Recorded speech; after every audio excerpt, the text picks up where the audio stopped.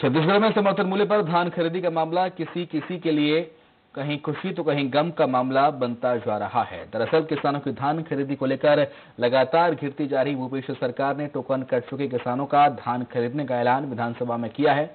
लेकिन बहुत सारे किसान ऐसे हैं जिनका समय सीमा के दायरे के चक्कर में ना तो टोकन कट पाया है और न ही पूरा धान बिक पाया है। किसान का एक एक दाना खरीदने का दावा करने वाली सरकार पर अब किसान आक्रोशित नज़र आ रहे हैं। महासमुंद में धान खरीदी केंद्र के प्रबंधकों की मनमानी से किसान अब अपने आप को छला हुआ महसूस कर रहे हैं। धान खरीदी के लिए जो गाइडलाइन तैयार किया रहा होगा उससे संतुष्ट नहीं हूँ। बहुत ज़्यादा परेशान है भैया। क्या क्या करोगे? आज भी ब्यार में पड़ा है धान। अब क्या बताए है नहीं? अभी भी जाके देख सकते हो। किसान संतुष्ट नहीं है और खासतौर मैं संतुष्ट नहीं हूँ। इसलिए संतुष्ट नहीं हूँ कि जिनका टोकन कट चुका है उनका ही हम धान खरीदेंगे।